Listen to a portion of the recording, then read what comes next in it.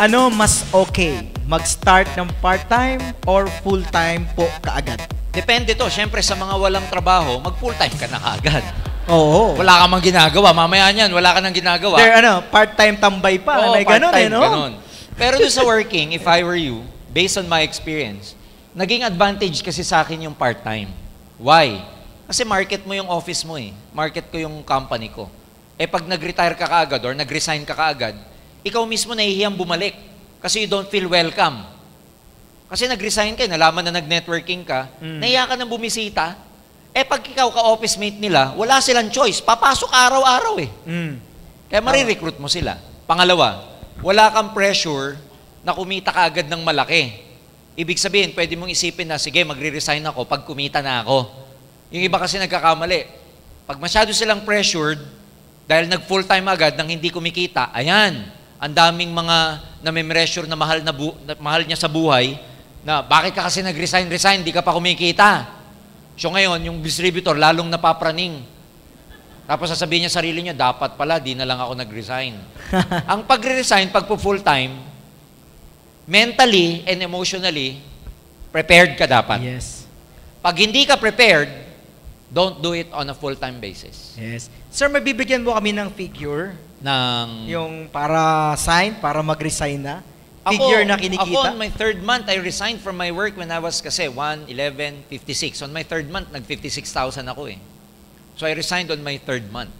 Pero yung iba kong mga kilala, as early as 20,000, they resign kasi ang ang maganda naman doon pag nag-resign ka ng bumi 20 mil ka na, 15 mil ka na. Tapos ang sahod lang, Sir, G's, Oo. 8. Talagang matetem ka dahil ano ba to, part-time. Ganito pa lang, lalo na siguro kung i-full-time ko. Kaya yung iba nagpo-full-time. Pangalawa, ang advantage pag full-time ka, ang dami mong magagawa. Dami mong magagawa kasi yung 8 to 5, naka-confine ka sa job. Makagkakaroon ka ng activity, 6 o'clock and above na. Pag full-time ka, pag gising mo pa lang, tapos tinuruan ka ng upline mo kung ano gagawin mo from the moment you wake up in the morning until late at night, napaka-productive ng nagpo-full-time. Yes. Kaya for me, sa mga pagpo-full time, you have three things to do. Number one, you have to be emotionally prepared. Number two, you have to be mentally prepared. And number three, pa-consult kang mabuti sa upline mo bago ka mag-resign. Sign. Kasi pag yung upline mo, alam ng upline yan eh. Pag ang upline alanganin sa'yo na magpo-full time ka, sasabihin nun, wag muna. Kasi sa loob-loob niya, langanin to, baka ko lang mapahamak pag nag-resign to eh. Pero pag yung upline, kilala niya yung downline niya, dedicated, ibubuhos lahat.